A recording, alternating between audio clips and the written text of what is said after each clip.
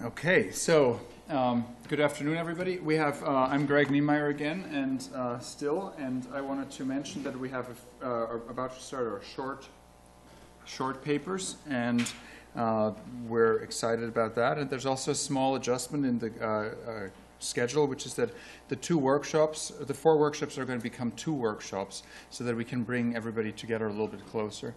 Um, this morning was absolutely fascinating because there was a sense of talking about the naturalization around new technologies and new concepts. And there was also a sense uh, of um, materiality and seamlessness. And so uh, the idea that we hide certain things, and in order to make an experience transparent, we hide technology.